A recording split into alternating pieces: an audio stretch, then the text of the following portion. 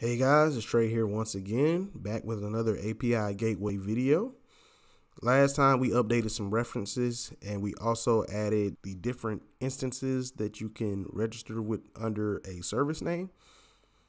So today we're going to be able to, well, we're going to add functionality to be able to enable or disable these individual instances.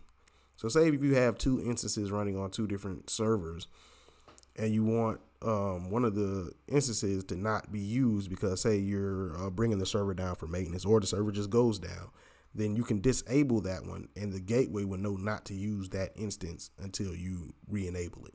What we're going to do today is we're going to write the functionality for it and then we're going to enable this 3001 instance and we're going to disable this 3002 instance and then we're going to watch the gateway work.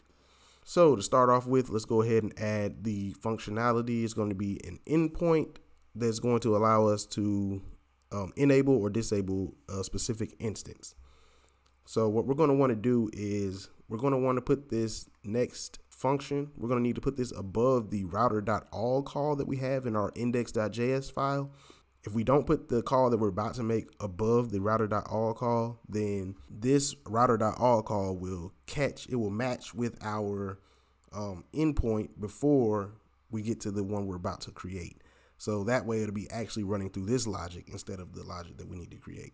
So make sure you put this call that we're about to make above the router.all call. This call is called the, we're to say router.post. So it's going to be a post method. And then inside of here, we're going to put enable, and then forward slash API name. Now the name enable um, is probably not the best name for this uh, because you're going to be able to enable and disable the instances from this same endpoint. So if you think of a better name, please by all means rename it. But for me, I'm just going to call it um, enable. And then we're going to pass in our callback here. And then inside of here, we're going to need to set up a couple of variables that we're going to be able to use um, while we're running through this logic.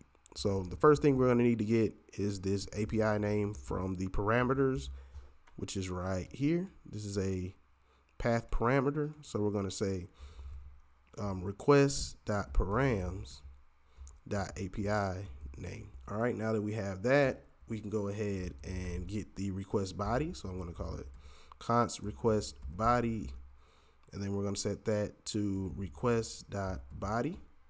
And then the next thing we're going to need to do is we're going to need to check um, if the instance that you're trying to um, update for the enabled, if that instance actually exists. That's what we're looking for. So we're going to grab the instances from this API name. Let's go ahead and we're going to call this instances. Then we're going to call registry dot services and then we're going to pass in the API name and then we're going to get dot instances. And then from here, um, we're going to need to actually get that instance. So this is where we're going to do the, the actual check for that instance. How we're going to do this is we're going to look through this um, instances array and see if we can find um, an instance that has a URL that matches what you put in the request body. So we're going to get that index. And the way we're going to do this is we're going to say instances dot find index then inside of here, we're going to have a method that's going to do the check. So I'm going to pass in a parameter called SRV, which is basically just like the, the service or whatever.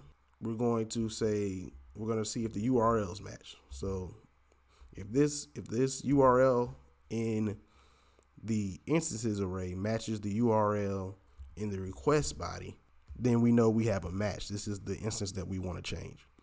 So we're going to pull that out and get the index from that. So whatever index that one that matches is, is the one we're going to use to set. Once we get this index, we need to do a check to see if it actually exists. So if it doesn't exist, if this never, oh, we need to do a return, I'm sorry. Inside of this find index, put return here. Um, if this returns, like if it doesn't find any um, that match, they're just going to return a negative one. So we need to check for that um, scenario there if it doesn't find it. So we're going to say if index equals equals negative one, then that means it didn't find it, and we're just going to return to the user that we didn't find it. So I'm just going to say status error, and then I'm going to say message could not find And then I want to change this to double quotes because I want to use the single quote inside of the message. So could not find. And then we're going to pass in the request body.url. All right, so it's going to say could not find that URL for service. And then we're going to pass in the API name. All right, so basically it's going to say that it couldn't find it. Now, in the case that it does find it and it does actually exist, we want to handle it by updating the enable field and then also writing it back to the registry.json. So the, the way we're going to update the field is by, we're going to say instances, index. So we're going to get that index and then we're going to say dot enabled. And then we're going to set that to the request body dot enabled. So now that's going to set the instance and it's going to set it to either enable or disable depending on whatever you put in the request body. And from there, we need to actually do the write to the registry.json. So I'm just going to scroll down to our register function here, and I'm going to just grab that that whole write fs write file line. So I'm going to copy that, and I'm going to come back up here because it's pretty much the same logic. The only thing that's different is what we're returning. So here we're writing it and then we're going to need to change the actual messages. So if there's an error with writing it, then we're going to say could not enable slash disable. So whichever one you decided to do, and then we're going to need to say the instance. So we're going to need to go request body dot URL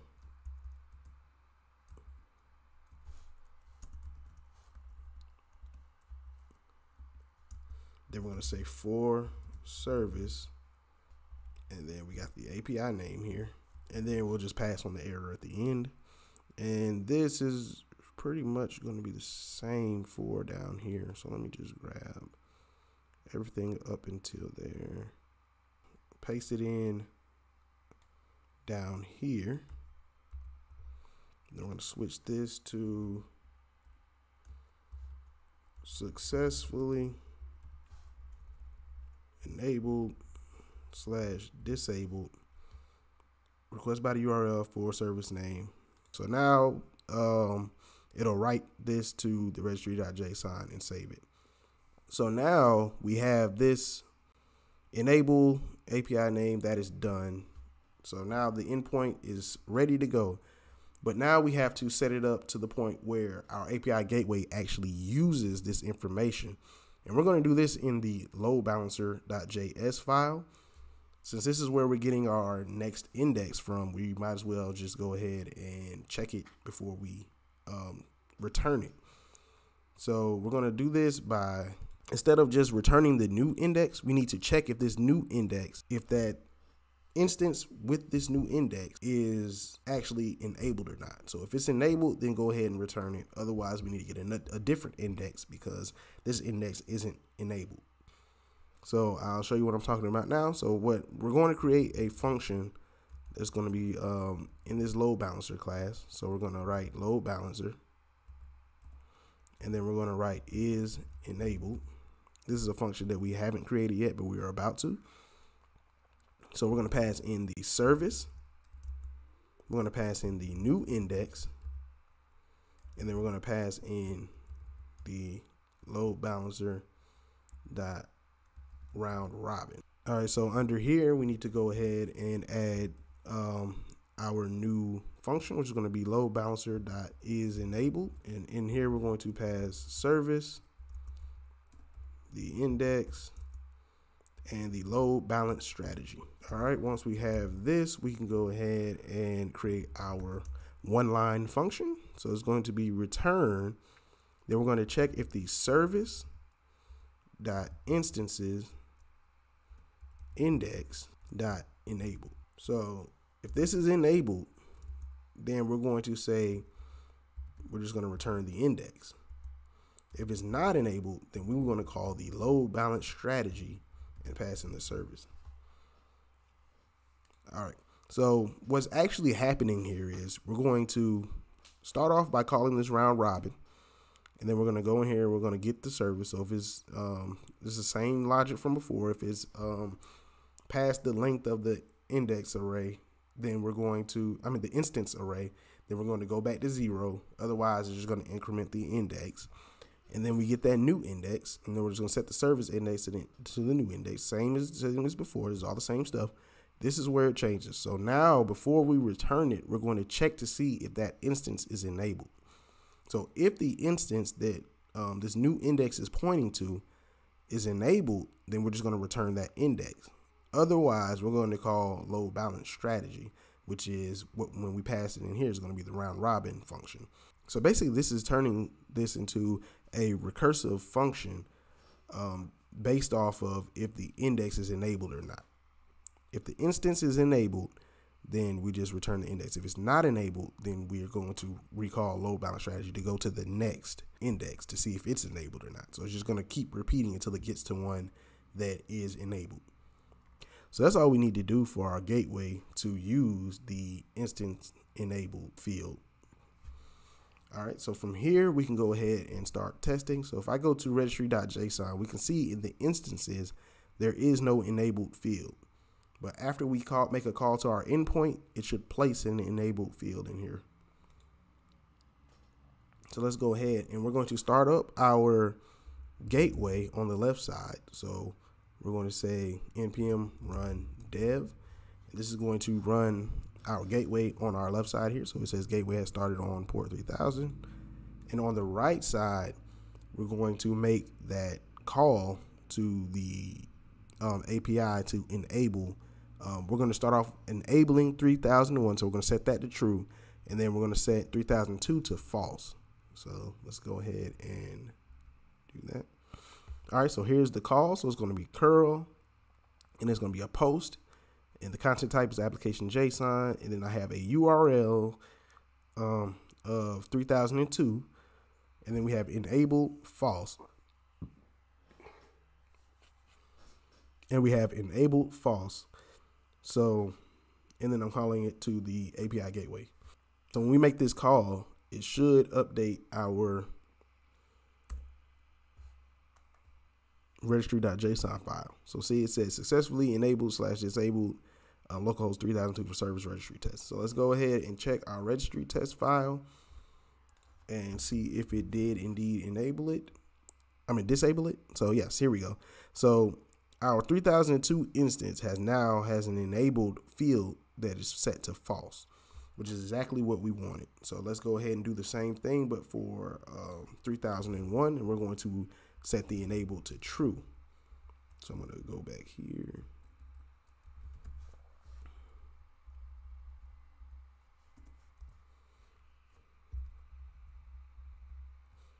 All right, so as you can see here, we have um, this 3001 and it's set to true. So I'm going to go ahead and call that. Boom. Now we have successfully enabled 3001 for registry test. Let's go ahead and take a look at this in the registry.json file. And let's go ahead and so now we can see that 3001 has been set to true. So the enable is true here, enable is false here. So when we call, um, make a call to our um, gateway, it should only use port 3001. So we're going to test this out by making a call to our fake API gateway.